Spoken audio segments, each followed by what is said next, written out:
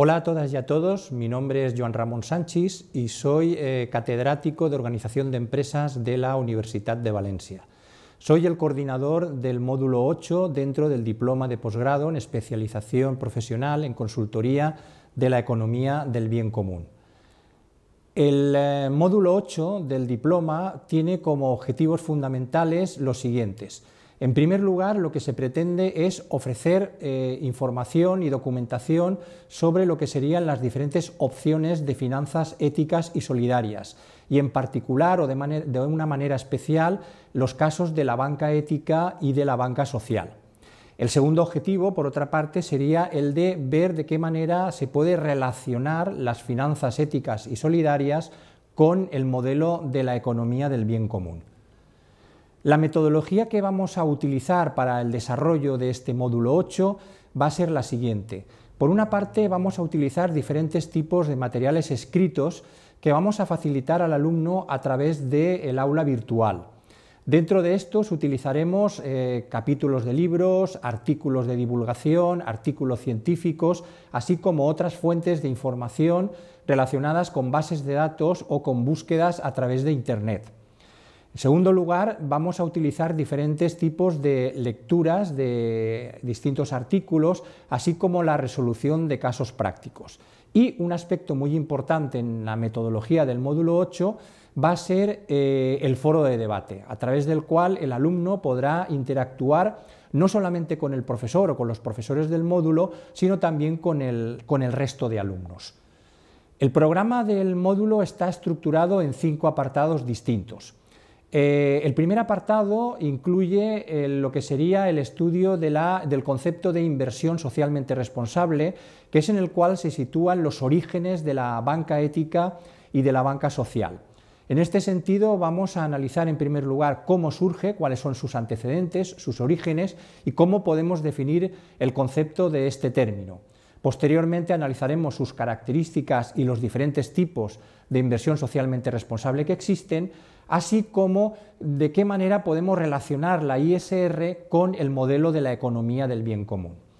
El segundo módulo, eh, el segundo apartado dentro del módulo está eh, referido a lo que sería la banca ética. En este sentido vamos a estudiar eh, primero cómo surge la banca ética, orígenes, conceptos, sus principales características y veremos también cuáles son los diferentes modelos de banca ética que existen en la actualidad.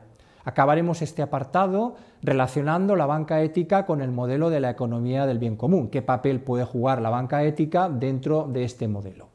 En el tercer apartado haremos lo mismo, pero en este caso referido a lo que sería la banca cooperativa, y así estudiaremos sus orígenes, su concepto, sus características, los diferentes modelos de banca cooperativa que existen actualmente, así como cómo podemos usar y relacionar la banca cooperativa dentro del modelo de la economía del bien común.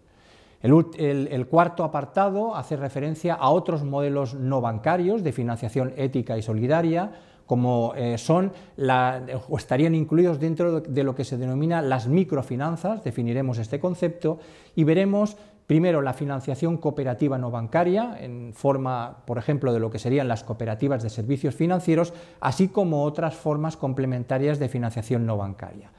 Por último, en el quinto y último apartado, analizaremos lo que serían las finanzas colaborativas. Y en este caso veremos los conceptos de micromecenazgo, de crowdfunding y crowdleading, así como la relación que, este, que estas finanzas colaborativas pueden tener con el modelo de la economía del bien común. La evaluación del estudiante por parte del profesor va a consistir en tres aspectos. Primero, la participación activa del, alumno a través del aula virtual y especialmente mediante el foro de debate, la elaboración de diferentes informes y de resolución de casos prácticos, se le va a pedir al alumno como mínimo un informe y una resolución de un caso práctico, y en tercer lugar se le va a pedir un pequeño ejercicio que va a consistir en que analice los criterios que se utilizan por parte de la matriz del bien común en relación con la gestión financiera ética. Por último, eh, a modo de recomendación, podría citar algunos trabajos o algunas referencias bibliográficas que el alumno puede utilizar para la preparación de este módulo.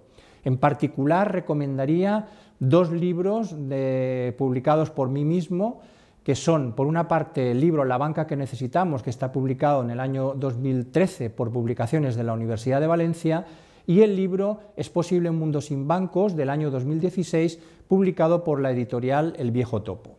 En ambos se, analizan tanto el modelo de la banca cooperativa como de la banca ética y otras formas de financiación ética y solidaria.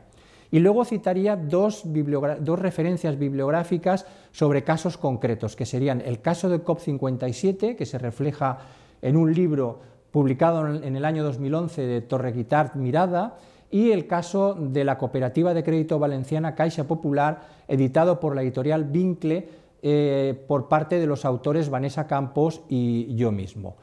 Eh, muchas gracias por vuestra atención, solo me queda desearos eh, un buen desarrollo de este módulo y que tengáis mucho éxito en el mismo.